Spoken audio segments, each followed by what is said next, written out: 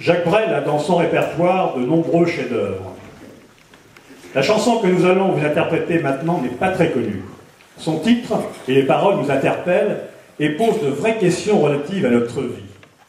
Prenons-nous le temps de regarder autour de nous Prenons-nous le temps d'apprécier ce qui nous entoure Voici, il nous faut regarder.